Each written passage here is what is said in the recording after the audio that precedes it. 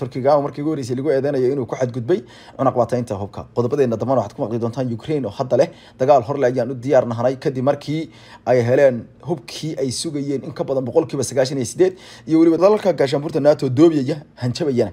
Qodobo kala raaci doona waaweyn ayaad maqli doontaan waa jimce naxariistii nabadgelyo ee bakorkiisa ha yeela idinkana barakooyinka bakorkiina ha noqdeen gaanka gaandamida oo dhan daawashana qiimaha leh. Shirkadda caymiska baabuurta ee aato inshuransi waxay kuu diyaarisay adeega caymiska baabuurta waaweyn ee taraagyada guryaha iyo gaadiidka yaryar. Waxaadna adeega aato inshuransi ka heli kartaa gobollada maraykanka ee kale ah ohio minnesota iyo weliba texas. Adeegga aato inshuransi waa mid aad ku adeegan karto afkaaga hooyo waxaana halkaasi kugu diyaaro shaqaale soomaali ah. Hore u gaadh oo hamoogaan aato inshuranse agency. Kala xidhiidh wixii faahfaahina lambarada shaashadda kaaga muuqda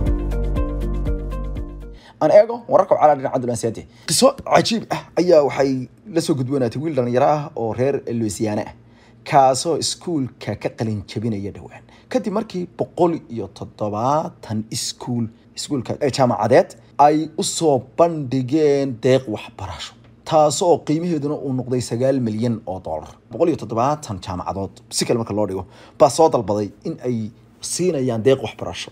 Deeqdii waxbarasho marka la isku daray lacagteedina waxay noqotay sagaal milyan oo dollar. Wiilkan wuxuu dhiganayaa iskuolka international high school la yidhaahdo ee magaalada new orleans ee gobolka lusiane dalka maraykanka waxaana la yidhahdaa danis malik barnis oo lix iyo toban jir inkastoo aanan hubin cunugan inuu qof muslim yahay laakiinse hadaladiisa dambe waxaa ku imaan doona arrimo muujinaya inuu kolle yahay qof diin leh. Si kastaba ha noqotee waxa uu yidhi aniga waxaan buxbuxiyey ayuu yidhi dhowr iskuul oo badan. Wuxuu ahaa nin iskuulka ku fiican sidaa daraaddeedna waxa uu da-diisan hadeerta uu yahay sanadka ugu dambeeyey iskuulka ku jira toddobiyo toban jir ayuu kaga qalin jabinayaa sanad ka hor xilliga loogu talagalay wuxuu yihi markii aan aad iyo aad iskuulo badan aan u qorsheeyey aniga ma raadinayn ayuu yihi in la aqbalo kaliya waxaanse raadinayay jaamacad fiican. Mana raadinaynin inaan noqdo ayuu yihi qof aada loo tixgelinayo ama aada loo raro ayuu barnis wuxuu yidhi se haddar waxaa lai sheegay in aanba jebiyey rikoord cusub oo hanaanka rikoodhada buugta la geliyo ee the ee book of world records ayuu noqday qofkii ugu deeq waxbarasho helista badnaa ee caalamka maanta sida uu ku dhawaaqay afayaan hadlay kooxdaasi oo leedo clark castle oo sheegay in mucjisooyinka lagu dari doono cunugan. Waxa uu haystaa hanaanka halbeega wax soo saarka macnaha gradekiisa ayaa ah afar dhibic sagaashan iyo sideed ama g p a waxaa loo yaqaano. G p a dalka maraykanka laga isticmaalo oo ah halbeega markaasi waxbarashadiisa ee dhinaca wax soo saarka waana mid ka a dadka ugu sareeya nidaamka waxbarasho halka natiijadooda laga hadlaya wuxuu yihi aniga ma aqaano meeshaan aadi doono laakiin waxaan kaliya aan rabay ayuu marka hore in aan barto computer science ama cilmiga computerka. Kadibna inaan aado ischool dhinaca sharciga ah ama law school oo aan noqdo qareen ayuu yihi barnes. Barnes waxa uu sheegay in uu mar walba uu u mahad ilaahay ayuu yihi marka horeysa aniga waxaan u mahad ilaahay. Marka xigta waxaan u ayuu yihi sharafta qoyskayga iyo saaxiibadayda aniga waxaan ahay ayuu yihi nin yar oo mar walba ku xisaabtama meesha u horeysana geeyiya ayuu yihi cabsida alle ayuu yidhi cajiib tirbeelka wararka oo calaa dhinaca dulasiyada dunida oo dhan daweeshana qiimaha badan waa gaanka gaandunida dhinaca kale ayaan fiirino qodobo waaweyn oo aad maqli doontaan baa inoo soo socday horta bal. Gaashaanbuurta nato waxay ku tooqaysaa in ay ka dharjisay wadanka ukraine hub iyo ag military. Kun iyo shan boqol iyo konton gawaadhida technikada ah oo ay ku jiraan laba boqol iyo soddon taangi taangiyada waaweyn ayay sheegeen inay gaadhsiiyeen wadankaasi waxayna sheegeen inay ka dhigeen awood ka mid a awoodaha dunida dalalka haysta maanta taangiyada iyo hubka tiknikada ah iyo qoryaha ay saaran yihiin ee ka dhacan sidaas waxaa ku dhawaaqay jeans stompik xogayaha guud ee gaashaanbuurta nato oo isagu sheegay in boqolkiiba sagaashan iyo sideed agabkii hubkii iyo saanadii military ay dalbanayeen. Dalkaasi u baahnaa si uu sooga waabiyo ayay yidhaahdeen dagaalka xirbe russia ay gacanta u gasheen Stompik waxa uu intaasi ku daray in haatan ay tahay in ay sheegaan in dowladda dalkaasi Ukraine ay tahli karto iska waabinta Ruushka iyo inay dagaalkooda xirxirahaas ka celiso. Isagoo intaasi ku daray inay tani tahay wax uu ku yeedhay tallaabo horukac leh wuxuu yiri marka la soo koobo. Waxa aan tababar siinay heer sare ah oo tababar qalabeedka tababarka la yiraahdo qalabka in la baro. Ayuu yiri sagaal guuto guud oo ka tirsan ciidanka wadankaasi Ukraine oo aanu u laylinay. Isticmaalka agabkan gaadhaya kun iyo shanta boqol iyo kontonka gawaadhida gaashaaman ah.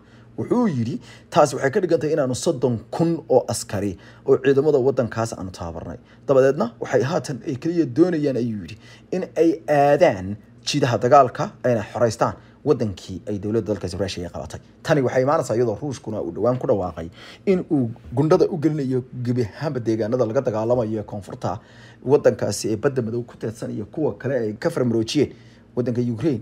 Gawaadhidiisa gaashaaman ee t fourteenka la yidhaahdo kuwaasoo ah kuwaan cid wadin lana aaminsan yahay inay geysan karaan dhibaato aada u badan maadaama naf iyaga halkaa kaga dhimanaysaa aysan jirin. Waa gawaadhi dagaal oo iswada islamarkaana meel rumuud fog laga hagayo kuwaasoo dhex qaada ciidamada fenjariga ama ciidanka lugta kiciyana wararka waxay haatan sheegayaan in qalabka wadankaas hadeer la gaarsiiyey ay kale ku jiraan agabyo kale oo muhiima oo ay ka mid tahay diyaarado helicopters nooca qumaatiga u kaca laakiin maaha diyaaradaha dagaalka cereceera sidoo kale waxaa la gaarsiiyey baabuurta markaasi waaweyn ee gaashaaman waxaa la gaarsiiyey qoryaha garabka laga tuuro boobayaasha culus. Tronis ayaa ka mid ah. Artilleriga markaasi madaafiicda goobta loo yaqaano waxaa ka mid ah saanad ciidan tii ugu badneed waxaa kaloo ka mid ah agab ay ka mid yihiin anti aircraft weapons ama hubka lidka diyaaradaha ee garabka laga tuuro inti tangi ayaa ka mid ah iyaguna hubka garabka laga tuuray baabuurta gaashaamo lagu burburiyo. Waxaa kaloo ku jira agabka ciidamada ee ay isku jooqaan si ay sooga badbaadiyaan. Rasaasta ku soo qubanaysa iyo weliba inay jidhkooda madaxooda iyo markaasi saableyda oo dhan ay ka caawiso ayaa la difaaca tan ayaa ka dhigan ayaa layidhi in dalalka gaashaanbuurta nato ay si xoogan u hubeeyeen una gimgimiyeen una ambabixiyeen wadankaasi dhanka kalena mid ka mid ra'iisul wasaaraha wadankaasi ukraine ayaa ku dhawaaqay in ahaa guul horukac leh in markii ugu horeysay hogaamiyaha wadanka shiinaha shin jinping iyo madaxweynaha dalkaasi ukraine vladimir zelensky arbacadii ay wada hadleen. Wuxuu ku tilmaamay in wadahadalada labada mas'uuli ay ahaayeen kuwo muhiima wuxuu sheegay isagoo hadlayay dabcan isaga hadlayay maalintii khamiistii. Wuxuu sheegay in wadahadaladaas ay muujiyeen in furmay albaab cusub oo ku aadan in dowladda dalka shiinuhu ay qaadi karto. Mas'uuliyad ah. Daadiinta dhexdhexaadnimo diblomaasiyado heer saraan shiinaha ilaa hadda wuxuu ka gebangaabsaday inuu dhinacyada uu ku kala biiro oo uu mar mid uun uu la safto sida ay wararku ay sheegayaan. Dabcan dhinaca kalena bal wararka wadankeena hooye soomaaliya aan fiiriye aan bal soo qabto mid eh. Mid ka mid a dhalinyarada soomaaliyeed ee lagu dhaadanayay loona yaqaanay markaasi dhalinyarada toddobiyo toban jirka ka yar ciyaaryahanadii uguna wanaagsanaa xulka qaranka toddobiyo toban jirada ee soomaaliya ayaa la sheegay in laga reebay. Tartanka kubadda cagta ee loo yaqaana u seventeen oo loola jeedo dadka markaasi ku jira da-da toddobiyo toban jirka oo markaasi maanta ka bilaabanaysa magaalada algeris ee caasimadda dalka jeri ciyaaryahankan laga reebay toddobiyo toban jirada qaranka soomaaliya oo lagu magacaabo cabdixaafid ayaa la marsiiyey baaritaan m r a-ga oo lagu ogaanayo da-da qofka natiijadii ka soo baxday. Ayaa lagu sheegay in uu cabdixaafid ka wen yahay toddobiyo toban jir sida ay wararku sheegayaan war qoraal la soo dhigay barta rasmiga ah ee facebook ee xiriirka kubadda cagta soomaaliyeed.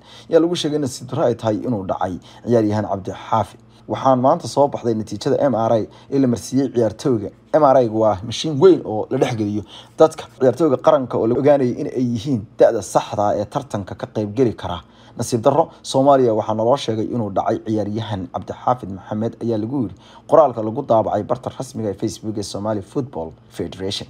Xiriirka kubadda cagta soomaaliyeed ayaa dalbaday cadeymo dheeraada oo la xidhiidha natiijada cabdixaafid maadaama baaritaanada qeybtii hore ee adis ababa iyo muqdisho ay iskaanadu sheegeen in cabdixaafid uu gudbay kuna gudbay. Wax loo yaqaano five plus oo ahayd marxalada ugu dambeysa inta aan la gaadhin marxalada lix oo ah marxalada dhicitaanka xiriirka kubadda cagta soomaaliya ayaa sidoo kale dalbaday. Muuqaalada iskaanka m r a-ga ee lagu baaray ciyaaryahan cabdifataax ciyaaryahan cabdifataax ayaa ka mid ahaa ciyaaryahanadii toddobiyo toban jirada ee sida weyn uga soo dhex muuqday xulka qaranka toddobiyo toban jirada ee soomaaliya waxaana tallaabadan looga reebay xulka qaranka ay noqotay. Mid dhabarjab ku ah xulka qaranka soomaaliya oo guul aada u weyn la rabay inuu la soo cimaabto waxaana dhici karta in la iskhiyaameynayo soomaaliya maadaama la khiyaamay tan kale waxaa kaloo gef ah in soomaaliya waraaqaheeda iyo baasaboorradeeda lagu kalsoonaa waayey. Islamarkaana annaga ay ciyaalkeeni ay mariyeen dhallinyaradeeni si gaara loo bartilmaameedstay taasoo muujinaysa iyaduna halka aynu mayqaam ahaan ka taaganahay dunidu inay ina aaminto in qof waxa ugu qoran sharcigiisa la aamini waayo la yihahdo waa lagu marina. Dadka waxaa laga baadhaa daroogo iyo waxyaala la mid a laakiinse in la yidhahdo da-daada la baaraya isagoo qofka documenti wataa baasboor buu ku dhoofay meel buu tegey meel buu ku dhashay waa nasiib darooyinka ina haysta weeye runtii dowlad la'aanta waxyaalaha inoo keentay weye waxaana la leeyahay toddobiyo toban sano kahor dowlad lagu kalsoon yahay soomaaliya kama jirin. Markaasyaa ku aaminaynaa waraaqahan dhalashada weye sidaa daraaddeed dunidoo dhanna waraaqaheena dhalashada weli ma aysan aqbalin. Baasaboorkeena dalal badan ma gelinayaan systemkooda inuu yahay rasmi. Taasi waa natiijooyinka burburka laga dhexlo hagaag daawashana qiimaha badan wararka wacaalaa dhinaca dulansiyaada dunida oo idil aan fiiriyo iyagana mid iyo laba qaramada midoobay golaha ammaanka ayaa isku raacay cambaarayntii ugu horeysay ee indhoweeto oo ka dhana taalibaan golaha ammaanka qaramada midoobay waxaa la horkeenay qaraar ka dhana taalibaan laakiinse lagu cambaareynaya hal shay oo ah inay gacantogaaleeyeen dumarka ama hablaha oo ay u diideen inay waxbartaan iyo inay shaqaystaan labadaba shirka looma kala harin islamarkaana waxaa loo arkay in toddobiyo tobanka dalba ay isku raaceen. Waxay marka hore sooba diyaariyey qoraalka dalka isku taga imaaraadka carabta oo iyagu ay aada isku hayaan. Taalibaaniyiinta maadaama taaliyiintu ay u janjeeraan dhinaca turkiga iyo qatar waxaana sidoo kale qeyb ka ahaa wadanka jaban iyo xubno kale oo golaha ammaanka ka mid a laakiin markii dambe waxaa la sheegay in laysku wada raacay iyadoo sidoo kalena dalal kale xitaa walaac ka muujiyeen oo iyagu banaankaba ka ah. Kuwa shanta joogtada iyo tobanka wareegtada ah oo sagaashan wadan oo kale ayaa goortii hore sii cambaareeyey taalibaan oo iyagu lagu tilmaamay inay ku xadgudbeen waxbarashada gabdhaha oo ay u diideen ka reebeen inay gabdhuhu waxbartaan taas ayaa lala ayaansaday laguna tilmaamay in gef aada u weyn subinayaan taalibaan talada wadanka afghanistan waxay la wareegtay bishii agoosto shan iyo tobankeedi waxaana loo arki karayay waagaasi in ay sameynaysay hanaanka wax iskabedel ballaaran oo dhinaca markaasi ay ku soo kordhisay daymaaniga dhinaca siyaasadda ee qaaradda koonfur bari asia. Hagaag qaybta labaad intaa ku xidho saddexaad iyo daqiiqatayn qiimaha